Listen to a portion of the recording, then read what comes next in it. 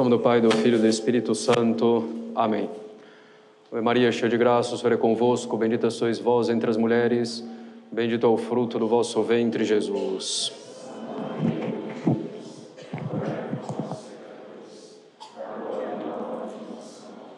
Podem sentar-se. A festa da Assunção de Nossa Senhora, caros católicos, é tradicionalmente uma das festas mais importantes da Mãe de Deus.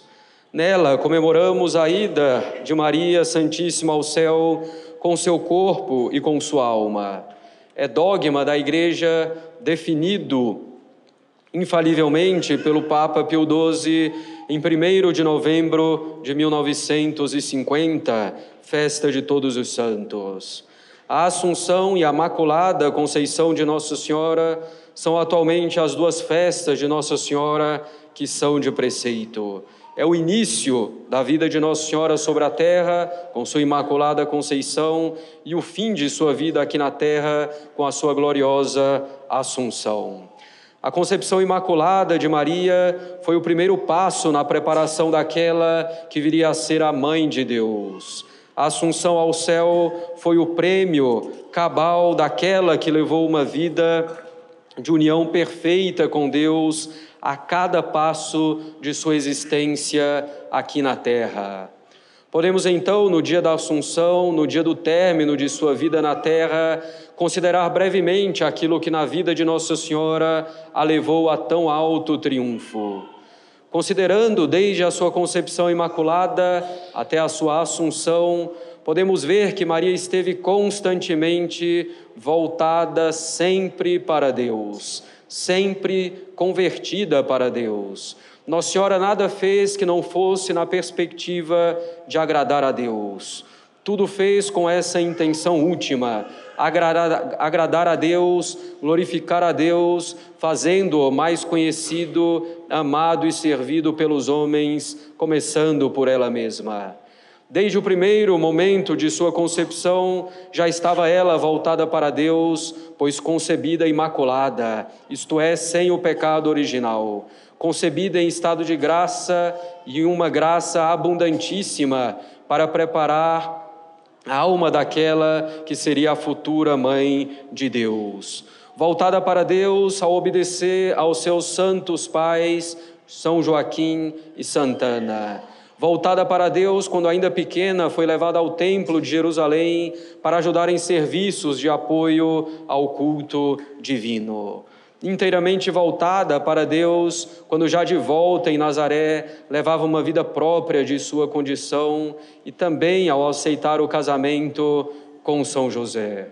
Inteiramente voltada para Deus quando recebeu a embaixada do anjo anunciando-lhe a maternidade divina. E voltada para Deus a cada passo da vida matrimonial e da vida de seu divino filho na ida para Nazaré, no estábulo em Belém, na circuncisão, na apresentação do menino Deus no templo, inteiramente voltada para Deus. Assim como na fuga para o Egito, no retorno a Nazaré, inteiramente voltada para Deus. Na perda e no reencontro do menino Jesus em Jerusalém e durante toda a vida pública de nosso Senhor, inaugurando ela mesma esse ministério nas bodas de Caná e concluindo ao pé da cruz do divino redentor.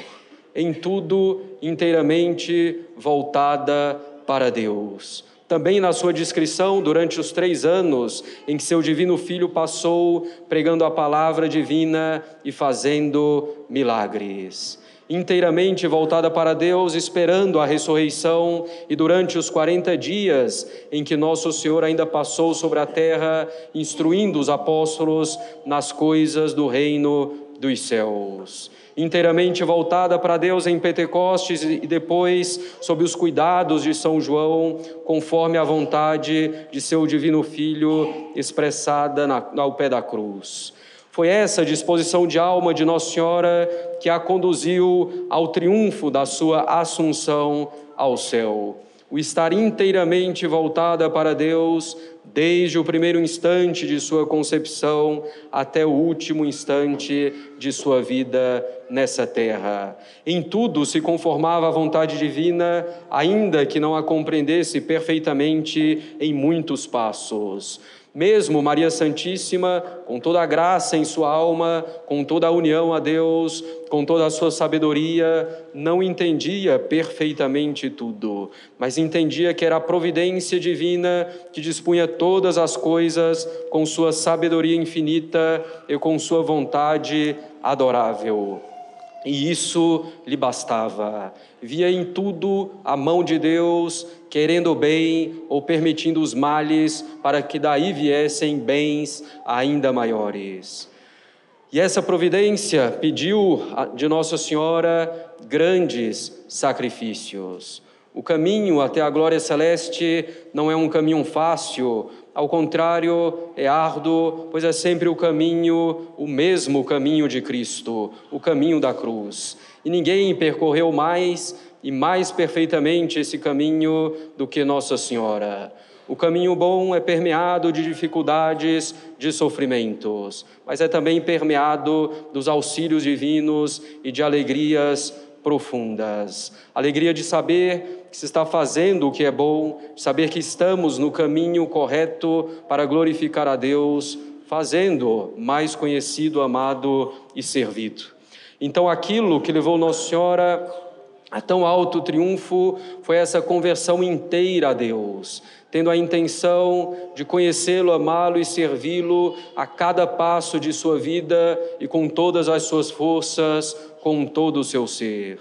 Devemos nós seguir esse exemplo de Maria Santíssima, estarmos a cada passo de nossa vida inteiramente voltados para Deus.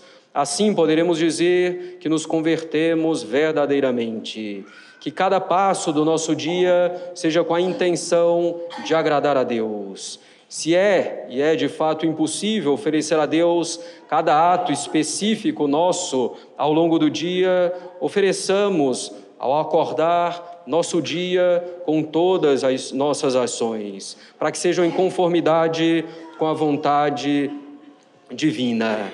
Algumas vezes ao longo do dia, elevemos nossa alma a Deus para lembrar que é por Ele que fazemos tudo o que fazemos. Não precisamos nem de palavras para fazer isso. Atos, um ato tão simples de se fazer e tão importante. Se não nos guardarmos convertidos a Deus, e se não nos guardamos convertidos a Deus desde o nosso batismo, procuremos fazê-lo agora. Se por infelicidade nos voltarmos contra Deus pelo pecado mortal, procuremos nos converter novamente a Ele pela confissão.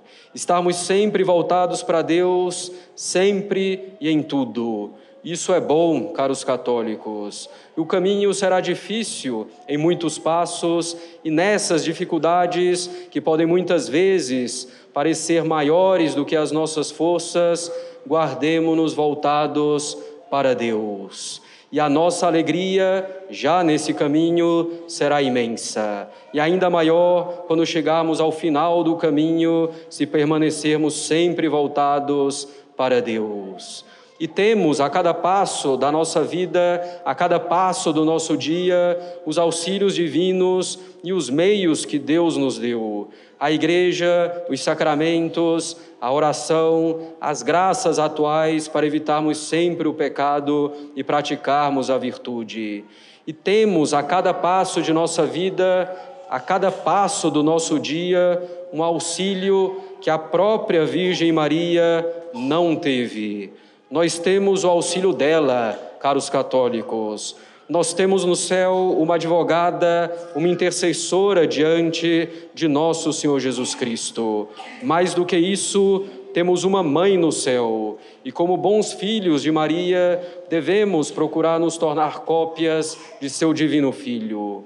E que filho não se enche de confiança e de conforto quando está acompanhado de sua boa mãe? Ninguém mais corajoso, ninguém mais forte, ninguém mais alegre do que o filho que sabe que sua boa mãe está ao lado para o ajudar. Com a mãe, a criança parece onipotente. Sem a mãe, ao contrário, fica tímida, com medo. Assim somos nós, com a ajuda de Maria Santíssima.